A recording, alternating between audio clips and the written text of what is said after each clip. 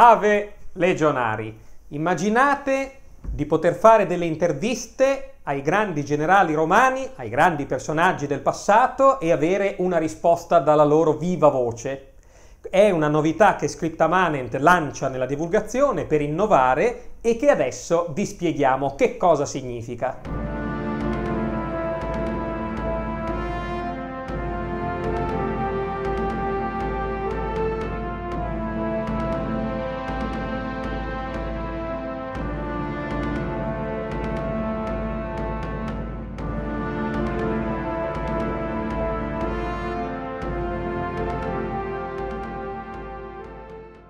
Anzitutto, per chi vuole acquistare il meraviglioso legionario romano che teniamo nello sfondo della nostra scenografia, sul sito trizioeditore.it trovate il legionario romano in resina, meraviglioso, poi lo descriveremo nei dettagli con tutto l'equipaggiamento proprio del soldato romano. Quindi, mentre grande successo acquistate il legionario romano, la nostra innovazione tecnologica ha questo concetto. Alla metà degli anni 70 c'era un programma radiofonico che si chiamava Le interviste impossibili, cioè si facevano delle domande e dei grandi scrittori, saggisti e storici fingevano di elaborare delle risposte dei grandi personaggi eh, che potevano essere verosimili, che esprimevano al meglio la loro personalità. E quindi le persone ascoltavano questo programma radiofonico e sembrava di ascoltare l'intervista a Nerone, a Napoleone, a Giulio Cesare e così via. Noi abbiamo ripreso questo concetto delle interviste impossibili. Abbiamo preparato delle domande molto ficcanti ai grandi personaggi romani Abbiamo studiato sulle fonti antiche la loro vita e soprattutto il loro comportamento, il loro modo di fare, di prendere le decisioni, il modo di reagire alle avversità, anche le battute che ci sono state tramandate, che potevano darci un'idea no, delle, delle loro caratteristiche, del loro temperamento e abbiamo elaborato delle risposte verosimili che i grandi generali ci avrebbero potuto dare, delle risposte storicamente ineccepibili, delle risposte che contengono dati storici reali. Però attenzione, non ci limitiamo a fare delle interviste ai grandi generali con delle risposte verosimili, ma le risposte vengono date dalle statue dei grandi generali romani che sono state opportunamente animate e dotati di voce come se rispondessero realmente alle nostre domande. Cominciamo per esempio con Giulio Cesare che si presenta e ci dirà quali argomenti affronteremo con lui nei prossimi video. Innanzitutto voglio ringraziarvi per avermi ospitato. Sono onorato. Non pensavo che dopo così tanto tempo il mio nome sarebbe stato ancora ricordato. Sono davvero commosso dal fatto che la mia figura incarni ancora la potenza di Roma a distanza di centinaia di anni. Parlerò con molto piacere della guerra gallica. Risponderò a quanti mi accusano di aver commesso un genocidio contro di loro. Niente di più falso. Sono accuse mosse dagli ottimati, che parlano dal loro comodo scranno in Senato. Fui alleato di molte tribù galliche. Fui costretto alla violenza solo quando queste tribù disattesero gli accordi o uccisero i nostri ambasciatori. Quale generale romano avrebbe permesso una tale offesa? Parlerò anche della guerra civile contro Pompeo. Fu una guerra dura che fui letteralmente costretto a combattere contro la mia volontà.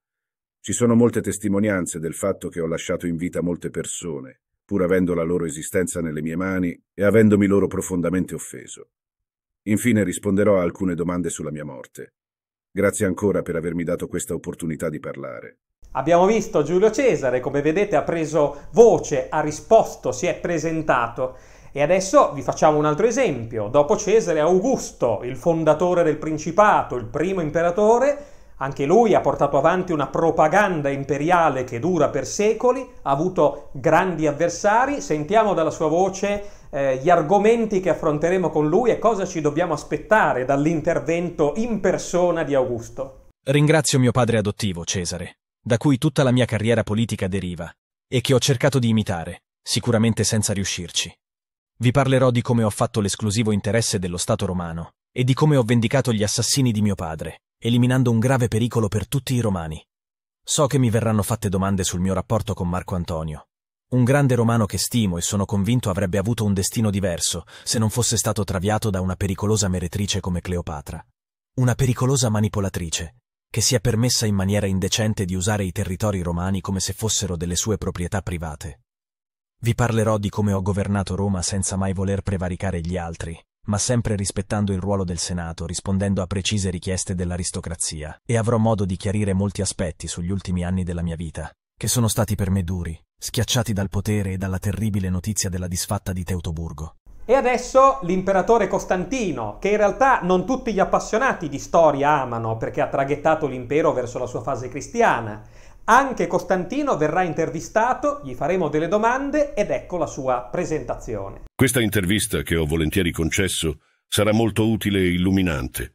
Dovrò parlare di molti lati oscuri della mia carriera e del mio regno come imperatore. So di essere accusato da gran parte degli appassionati di storia romana di aver traghettato l'impero verso il cristianesimo. Molti non sono consapevoli delle sfide che ho dovuto affrontare a molti sfugge il fatto che ho semplicemente riconosciuto il valore di una forza religiosa e sociale che non potevo assolutamente ignorare. A tanti sfugge che non ho mai vietato i culti pagani. Chi mi accusa lo fa solo per ignoranza. La fondazione di Costantinopoli da parte mia è stata una scelta che, alla luce dei fatti, ha permesso alla cultura romana di prosperare per centinaia di anni dopo il collasso dell'impero occidentale. Racconterò e spiegherò molte cose che tutti voi non avete capito e vi farò comprendere come la gran parte delle mie scelte sia stata dettata da una visione di lungo periodo e la storia mi ha dato ragione. Bene, abbiamo visto come Costantino è pronto a combattere, pronto a difendersi perché è abbastanza polemico come tipo quindi ecco la novità di Scripta Manent, queste interviste ai generali romani che prendono vita e rispondono muovendosi e parlando. Nei prossimi video di Scripta Manent faremo le nostre interviste. Il primissimo personaggio è Publio Cornelio Scipione, il grandissimo avversario di Annibale, protagonista della battaglia di Zama, che in esclusiva darà la sua intervista a Scripta Manent. Rimanete collegati, iscrivetevi al canale, se no mandiamo tutti questi personaggi a casa a parlarvi nell'orecchio mentre dormite. Quindi iscrivetevi a Scritta Manent e aspettate questa nuova grande serie dei generali romani che prendono vita e rispondono alle nostre domande.